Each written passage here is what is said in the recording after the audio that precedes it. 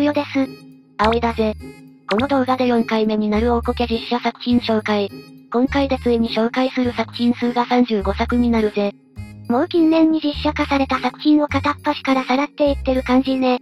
ここまで打率が低いと本当になんで実写映画を作るのか。映画業界の考えがわからなくなってくるな。原作の時点で実写化したらどうなるかなんてわかりそうだけどね。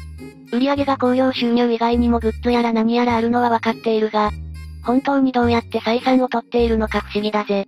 まあ、そんなことは置いといて、今回も大こけ実写映画を7作品紹介するぜ。今回はどんな大こけぶりが聞けるかしら。今回最初に紹介するのはキャッツアイだぜ。女性怪盗漫画の金字塔ね。キャッツアイは北条司さんが、1981年に週刊少年ジャンプで発表した漫画作品だ。へえ、ジャンプ作品だったのね。キャッツアイは木杉瞳。木杉類、木杉愛の世間でも評判の美人三姉妹怪盗キャッツアイと、それを追いぬなき警察署の刑事、内海敏夫らの戦いを書いた作品だ。毎回盗みに行く前に予告状を出して、書かれている内容の通りに華麗に盗むのよね。ラジオドラマ、テレビアニメ、テレビドラマと、様々なメディアミックスがされている。キャッツアイの実写映画が公開されたのは1997年8月だ。もう25年前の作品ね。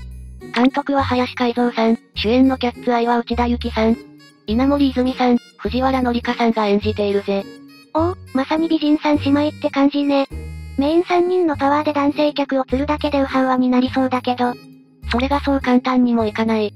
このキャッツアイを見始めてまず気になるのは序盤に入るアニメパート。これはテレビアニメ版を作っていたトムスエンタテインメントが制作していて、おそらく大人気だったアニメ版のファンへ向けたサービスなのだろう。そういうのは結構嬉しいんじゃない？かなりいいサプライズだとは思うが、なぜかこのアニメパートは実写キャストの3人が声を当てているんだ。え、アニメ版の人たちじゃないの？アニメファンに向けたサービスならアニメの声優にするべきだし、サービスと思っていないならなぜ入れたのかすらわからなくなる。いきなり疑問のある演出がぶち込まれる。声優さんを雇うお金をケチったのかしら？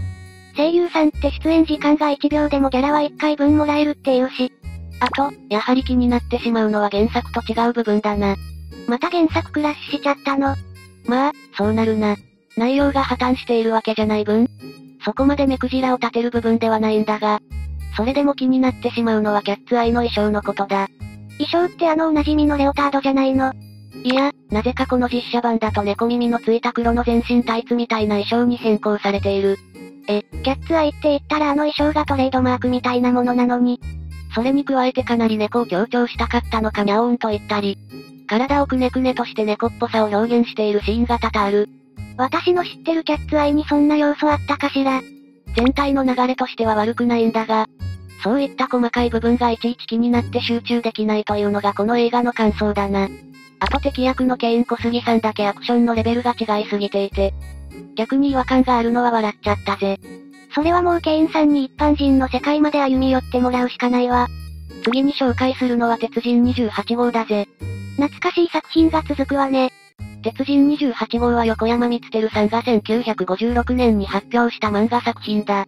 太平洋戦争末期、廃食濃厚な日本の状況を打開するために作られた鉄人ロボット。数年後、日本の敗戦によって日の目を見ることがなかった鉄人がある理由から目覚めてしまう。その鉄人を使って悪巧みをしようとする組織と、主人公で少年探偵の金田翔太郎の戦いを書いた作品だ。へえ、そんなストーリーなのね。鉄人28号と敵のロボの戦いがとても印象的な作品なことに加えて、鉄人というリモコンで好きなように操作できるロボを通じて道具は、使う人次第で善にも悪にもなるということをテーマにしている。子供の教育にも良さそうね。ちなみに小さな男の子が好きな人のことをショタコンと呼ぶが、これは主人公の翔太郎から生まれたという説もあるぜ。そういえばロリコンはロリータコンプレックスだけど、ショタコンって知らなかったわ。この時代からそういう思考の人はいたんでしょうね。そして今回紹介したいのが2005年公開の実写版鉄人28号だ。これはどうして大こけしてしまったの？この映画の大こけの原因は、映画を見に来る層と内容が合っていなかったからだな。というと、まず鉄人28号は原作漫画が1956年で、アニメの1作目も1963年に公開された白黒作品という超歴史のある作品だ。実際、ほとんどの人が見たことないでしょうね。そんな鉄人28号が実写映画化されるとして、見に行くのはどんな人たちだと思う？やっぱり、当時アニメを見ていた人とか親の影響で興味を持った人とか、何にしても今の時代にわざわざ見に行くのはかなりのロボマニアって感じがするわね。そうだ。ぶっちゃけ鉄人28号ってデザイン的にも古いし、盛んに広告を売ったとしても今の子供たちが見に行きたがることはあまりないだろう。ならば最初から見に来るのはかなり年齢が上の人たちだというのが想像できる。そうね。だがこの映画を実際に見ていると、脚本演出 CG その他諸々が子供向け映画レベル。むしろ子供騙し映画といった出来になっているんだ。すごい言い方ね。子供向けアニメだからか舞台が昭和ではなくて現代になっているのに、細かな部分が現代内図されていないところもかなり見ていて気になる。どういうこと？この映画の戦闘を見ていても鉄人が現代の武器に対抗できるほど強そうには見えないんだ。それなのに街中で大々的に戦っても自衛隊が出てくるわけでもなく、そこまで強そうでもないロボットが街を壊しながら戦っている。もう見ている大人たちはポカーン状態だ。元から子供向け映画だったってことじゃないの。まあ、実際にそうなんだろうな。きっと制作人からしたらこうやって騒いでるおじさんたちを厄介者だと思っているだろう。でもそれならもっとしっかりと宣伝の段階から子供向けであることを、アピールするべきだったと思うぜ。でもアピールしたら下で興行収入的には失敗したでしょうね。興行収入を取るか、作品への正当な理解と評価を求めるか。まあ、どちらにしても失敗してしまったわけだが。正直、昭和の作品ってもう消費期限切れだ。それを最近は新しい要素を加えてリメイクアニメして延命しているに過ぎない感じだな。それもあまり改変しすぎると批判が集まる。大きな努力が必要なのに、客層の分析も満足にできていない鉄人は失敗しても仕方なかったってことね。次に紹介するのは黒羊だぜ。近年の女性向け漫画の金字塔みたいな作品ね。黒羊はとぼそやなさんが2006年から、月刊 G ファンタジーで連載しているダークファンタジー漫画だ。現在32巻まで出ているぜ。池袋の乙女ロードにいるオタクの女性たちが好きな作品の代表ってイメージよね。全く悪い意味ではなくね。この作品は19世紀末期のイギリスを舞台に代々裏社会の汚れ仕事を請け負う。ファントムハイブ伯爵家の12歳当主シエルと、それに使える全てが完璧な執事セバスチャン・ミカエリスが、様々な裏社会の事件を解決していくダークな漫画だ。執事のセバスチャンにも秘密があって、決め台詞のあくまで執事ですからがダブルミーニングになってるのよね。2008年にアニメの1作目が放送されてからは2期や OVA、劇場版も作られている人気作だ。アニメはダークな雰囲気が出ててすごいいいわよね。そんな黒羊が実写化されたのは2014年。監督は大谷健太郎さんで、セバスチャン役を水島博さん、シエル役をゴーリキあやめさんが演じたぜ。あ、おい、ゴーリキさんの名前が出ただけで何かを察するんじゃない。10割葵の解説のせいだけどね。まあまあ、作品を評価するのは一度クールダウンをしてから詳細を聞いてからでも遅くないぜ。そ、そうね。ちなみにこの映画なんだが、舞台は19世紀のイギリスから現代アジアに、主人公のシエルは日本人にされて性別が男から女に、名前は原宝清春、またはしおりと変更されている。ちょちょい、ちょっと、おいこら、いきなり情報ぶっ込みすぎよ。そんなに興奮してどうしたんだほら、クールダウンクールダウン。ヒートアップさせてるのは多いでしょうが。それじゃあ、一つずつ説明していくぜ。まず一つ目は舞台が19世紀のイギリスから2020年のアジアになっていることだ。正確には独自の世界設定で東側と言っているだけでアジアではないみたいだが。一つ目からすでに意図がわからないわね。うーん、これは多分予算の削減だったり、外人キャラのコスプレを日本人がする安っぽさを防ごうとしたんじゃないかと考えられる。真意はわからないが。だとしても初手から完全なミスってことはわかるわ。そして二つ目が主人公のシエルの性別変更。男から女になっていることだな。むしろ原作のファン層から考えるとこれが一番の怒りポイントになるんじゃない最初にも言ったが黒羊のメインのファン層はオタク系の女性だ。そしてそういった女性たちに人気のある作品にはやはり男同士の絡みというのは欠かせない。正確には本編で露骨な絡みはなくても男キャラ同士が親密なだけで自分たちでいくらでも、妄想を広げて楽しむことができるんだな。原作のシエルとセバスチャンは美少年と、イケメンお兄さんでわかりやすくそっちの需要を満たしているわね。ああ、そういった需要の高い作品で実写だからって性別を安易に変えてしまうのは、監督らが作品のことをあまり分かっていないんじゃないかと思ってしまうぜ。別に剛力さんの普段のボーイッシュさなら男の子役でも問題なかったわよね。そしてその二つを受けての三つ目の名前の変更。実はこの映画はセバスチャン以外原作のキャラは登場しないんだ。もはやセバスチャンを他の作品に出張させただけの別作品ね。ここまで映画の本編については全く触れられていない気もするが、詳細を説明せずともこれだけでなんで大こけしたかは明白だろう。本当にこういう作品を見ていると、どうやってそこに行き着いたのか会議の成り行きを見てみたくなるわ。剛力さんについてもこのチャンネルでかなり悪評を広げてしまっている気がするが、実際はこういうもらい事故が多くて本当に災難だと思うぜ。剛力さん、ごめんなさい。四つ目に紹介するのはバクマンだ。お、これは私も原作読んでた大好きな作品よ。バクマンは原作大場つぐみさんと作画小畑武史さんの、デスノートコンビが2008年から週刊少年ジャンプで連載していた作品だ。大場つぐみさんは本当はとってもラッキーマンの作者で、バクマンの一部を隠すとラッキーマンになるとか都市伝説があったわよね。バクマンは主人公で作画担当の真城森高と原作担当の高木明との二人が、コンビを組んで並みいる漫画家たちと地にしのぎを削り、時に協力しながら週刊少年ジャンプでトップを目指していくという内容だ。ジャンプの内情とか漫画ができるまでの工程とか、しっかりと書いてくれているのが面白いのよね。ネームって言葉はこの漫画で知ったわ。そうだな。そういう小難しい説明の部分と漫画というインドア作業を、しっかりとジャンプの友情努力勝利の熱い内容にうまく落とし込んでいる名作だ。どれもこれもこのコンビだからこそ表現できているものよね。しっかりと恋愛要素もあったり全てを一作の中に落とし込むのはとても大変だと思うわ。そんなバクマンの実写版が公開されたのは2015年。監督はトリックの大根仁さん。主演を佐藤健さんと神木隆之介さんが演じているぜ。これ以上はないような強いコンビよね。ちなみにネットで一時期 MV がかなりネタにされていたサカナクションの、新宝島はこの映画の主題歌だぜ。ええー、そうだったのね。あの MV は言葉で表現できない面白さがあるわよね。そして肝心の本編はこんな話題で紹介しておいてなんだが、かなりいい感じだ。あら、そうなの。特に昔から多くのジャンプ作品に触れてきている人なら、作中の漫画談義のシーンで出てくるパロディをとても面白く見れると思うぜ。原作がジャンプだと腕を振ってパロディできるのがいいわね。他にもエンディングのスタッフロールにもただ名前を並べるだけじゃなくて、ジャンプ作品のタイトルをもじったりしていて面白いんだ。とにかく作中の小ネタを全部拾おうと思ったら一度や二度じゃ足りないぜ。ジャンプファンにはたまらないわね。しかし気になったところもある。最初に原作は漫画制作というインドア作業をうまく画力などで熱い内容に書いていると言ったが、映画ではそのあたりがいまいちだったんだ。映画だとどんな感じになっていたの？映画だとなんと筆を持っての戦闘シーンが始まるんだ。ええ？しのぎを削る姿を見てわかるように表現したんだろうが、このあたりはぶっちゃけ微妙だったな。個人的にバクマンって漫画家同士の戦いの構図にはなっていても、そこでバチバチ相手に敵意を向けるんじゃなくて、その熱を肉体と精神の限界まで原稿に注ぎ込む感じが好きなんだ。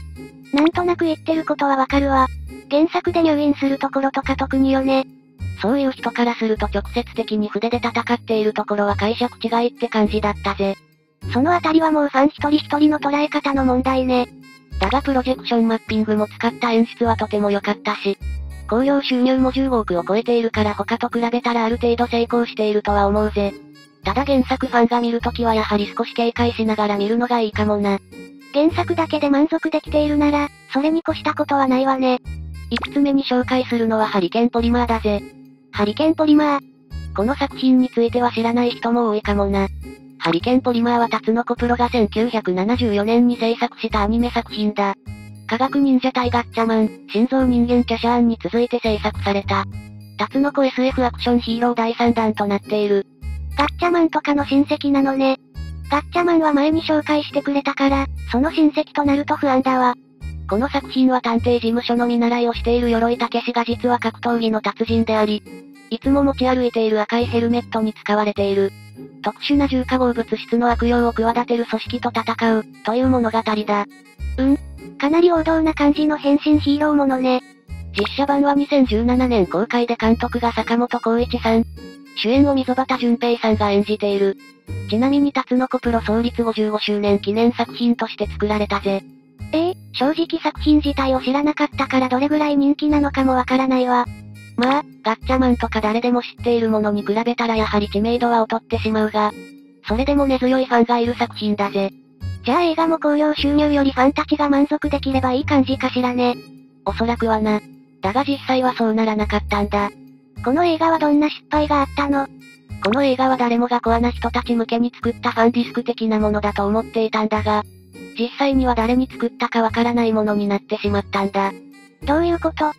この映画を実際に見ていると、当時のコアなファンは求めないような今の時代に合わせた現代的なテイストが多く入れられている。だからといって新規ファン向けなのかというと、本家アニメの方の設定なんかを何の説明もなくぶち込んでくるんだ。つまり、ファンには満足できず、新規には意味がわからない内容になっているということだ。もはや誰得って感じね。ターゲットにする層を絞ることなく作ってしまったというのが丸わかりだぜ。タツノコ作品の実写化って全部ミスってる気がするんだけど。そうだな。2004年のキャシャーン。2009年のヤッターマン。2013年のガッチャマン。どれもいい話は聞かなかったぜ。もはや呪われている気がするわね。今後のタツノコ作品の実写化がどうなるのか見ものだな。もうしない方がいい気がするわ。次に紹介するのはニセ恋だぜ。あ、ニセ恋ね。うんどうしたんだ？いやー、好きだったなーって。過去形か。その反応についてもゆっくり説明していこう。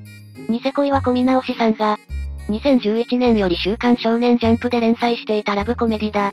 一時期はジャンプのラブコメ看板漫画だったわね。2014年からアニメも2期にわたって放送されている人気作だ。ストーリーはヤクザの組長の一人息子。一条楽とマフィアのボスの一人娘の桐崎千棘が、互いの組の中を取り持つために偽の恋人を演じることになるというものだ。うんうん。しかし、楽は小野寺小崎という好きな人がいるのに加えて、10年前に会った顔も思い出せない女の子との約束を忘れずにいた。もう一人途中参戦の立花まりかちゃんを加えて、三人の誰かが約束の子なんじゃないかって悩むのよね。個人的にはイチゴ100%以来のジャンプでの対策ラブコメとして楽しんでいたぜ。この頃ってジャンプもちょうど今では主流のデフォルメされた。萌え系の絵柄を取り入れるかどうかってところだったわよね。ニセ恋がヒットしたことで一気にそういう絵柄も増えた感じ。そんな大人気だったニセ恋だが、物語後半のある展開で完結までバッシングを受け続けることになったんだ。それが覚悟完了事件だ。これはひどかったわ。簡単に言うと、警視総監の娘で病弱な3番手ヒロインの立花まりかが、病気の治療や家の諸々で結婚させられるということになってそれを主人公たちが阻止するんだ。政略結婚を阻止って言うと王道だけど、そこまでの流れとか考えると最低なのよね。この立花まりかは小さな頃に好きになった楽のために色々と努力をして、普段から気持ちを伝えていた。そして楽は小野寺が好きだからと拒否もしていた。そこにこの結婚の話が出て楽はうじうじしながらやっぱり気持ちに応えられない。でも友達だから結婚も見過ごせないっていうのよね。そして最終的には気持ちに応える気もないし病気をどうにかするわけでもないし、家の事情についても助ける気もないのに、何かよくわからないけど覚悟完了して結婚式に乗り込んでぶち壊すんだ。ネットでコラ画像が作られまくったんだけど、どれも内容は概ね合ってるのよね。無責任なところが特に。ちなみに私はマリカちゃん推しだったわ。マリカちゃん推しだったの。2回も言わないでいいぜ。まあ、ニセ恋にはその前にも後にもキムチ事件とか小野寺事件とか色々あって、完結の時には人気がガタ落ちしていたんだ。なんでこんな丁寧に説明したかというと、この原作が完結したのが2016年で映画の公開が2018年なんだ。あ、かつて映画を誇った屋敷もすでに見る影なく焼け落ちた後、いくら残った灰を集めても新たに屋敷は作れない。監督河合優斗さん。主演中島健人さん、他にも中条あやみさんや、島崎遥さんなどなど若手の人気どころを集めたが結果は散々だった。具体的にはどこがダメだったの？全部、という身も蓋もない意見は置いといて、かつて映画を誇った屋敷もすでに見る影なく焼け落ちた後、一番気になるのはただコスプレ劇場にしか見えないところだ。予算を大幅に削られたんじゃないかってぐらいの安っぽさに、ドタバタギャグ部分のオーバーリアクションがコスプレ感を激増させている。実写で一番最初に気をつけなきゃいけない部分じゃないの。まあ、みんなわかっていることなんだが漫画は漫画だから面白いのであって、かつて映画を誇った屋敷もすでに見る影なく焼け落ちた後、現実に持ってくる時には工夫しなければいけない。逆に実写銀玉レベルに高い再現度とギャグのクオリティで押し切るとかね。でも基本は恋愛ものであるニセ恋は、そこまでギャグに全力になることもできない。その結果がオーバーリアクションのコスプレショーということだ。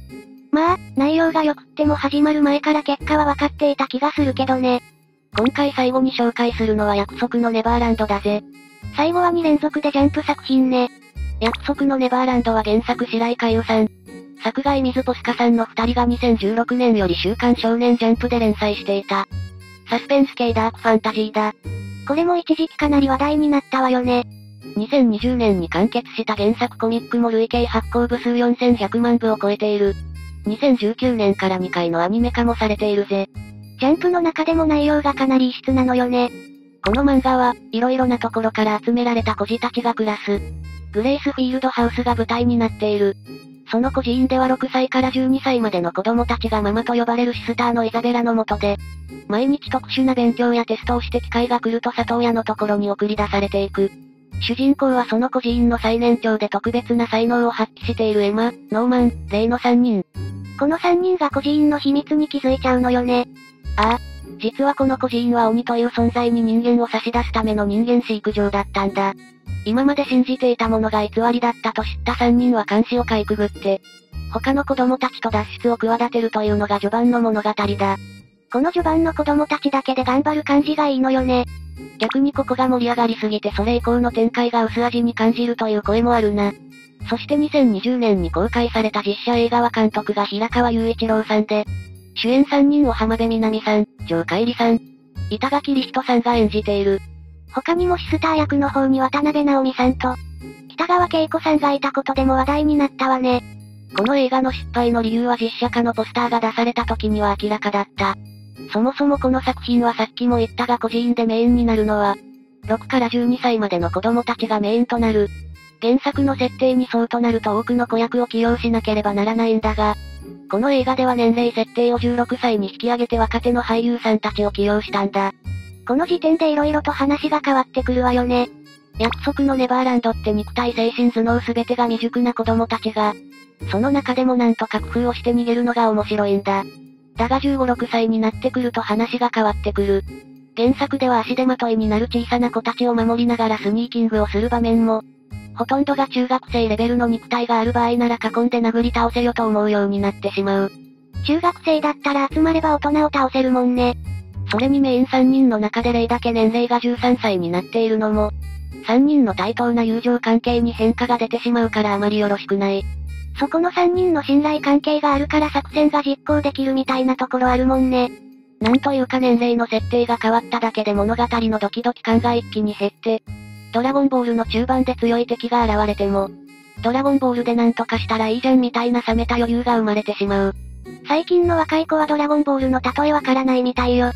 そんな人をロートル扱いするな。まあ、何にしても年齢が変わった時点で、元々の原作の魅力に感じていた部分がかなり薄れてしまったんだ。逆にシスター役をしていた渡辺直美さんと北川景子さんはとてもハマり役だったと好評だぜ。このシスターも重要な役だから、そこが成功したのは良かったわね。ちなみにその頃に原作がかなり話題だったこともあって、興行収入的にはかなり成功の部類になっている。でもやはり年齢設定の部分でネットで炎上気味になってしまったんだ。その結果、大こけという印象は拭えないな。やっぱりヌーベイと同じでメインキャラに子供が多い作品は実写化が難しいわね。